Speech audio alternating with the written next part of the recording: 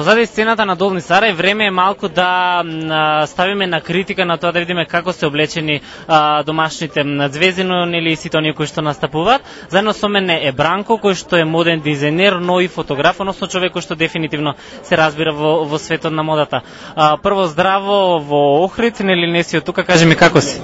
Здраво, благодарам на поканата за вашето интервју. Се чувствувам супер во оваа атмосфера, значи прекрасно ми е тука. Не сум за прв пат, мислам дека ми е многу интересно, особено кога има вакви случаи.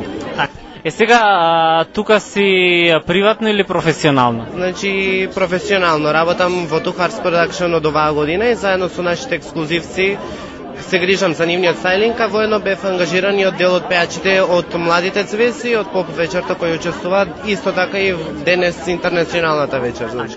Ајде вака сега, дали можеме значи да ставиме на модна критика на сите оние кои што настапија тука? А, има ли некој кој што а, има дефинитивно моден промаршок и некои кои што на вистина изгледаат а, како звезди, односно сосема пригодна на фестивал како што наликува за Охридски трубадури? Значи, а, секогаш ми ја дава тоа оваа значи професија како моден дизајнер да ги критикувам нашите пејачи јас сум сепак тука тоа да го кажам. Вчера доколку можев да заприметам, а, пошто стигнувам секогаш покасно од сите други звезди кои што идат заради мојата професионална работа на фестивалов, та Орнелија мислам дека беше вчера тотална катастрофа, промаша или копирање на нешто што а, предходната година Дејана Николовска го имаше и веќе беше дежаву или нешто видено. Нема да зборам за Елена Петерска пошто беше облечена од мене и ќе биде глубаво да, се- да, да да најдеме некој друг. Да, за тоа може да најдете некој друг, ќе ми биде мило ако чујам критики за тоа како Елена и Игор Узунов беа облечени. Наде беше добро облечена, од младите звезди Лаура исто така беше добро облечена. А, има има секако звезди кои што знаат да се носат со стилот што што секако се обидуваат да го изградат во текот на својата кариера, но има некои кои што од самиот старт не знаат што точно сакаат да направат и затоа изгледаат или премногу кичи или воопшто не изгледаат модерно. Така, кажи ми, кој од македонската естрада дефинитивно може да го носи епитетот а, модна икона?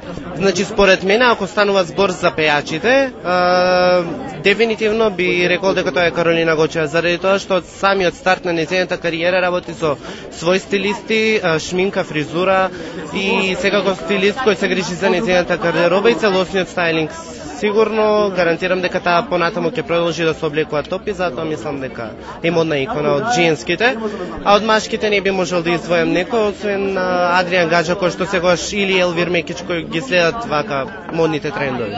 Добро, јас ти благодарам. Кажи ми уште што се очекува од твојата кариера, нели како стилист и фотограф? Значи се враќам повторно на територијата на Бугарија каде што живеам веќе две години. Таму ќе имам модна ревија во Варна каде што ќе со, ќе учествам повторно на конкурс де елеганс каде предходниот пат го освоив првото место. Овој пат ќе бидам дел од жири.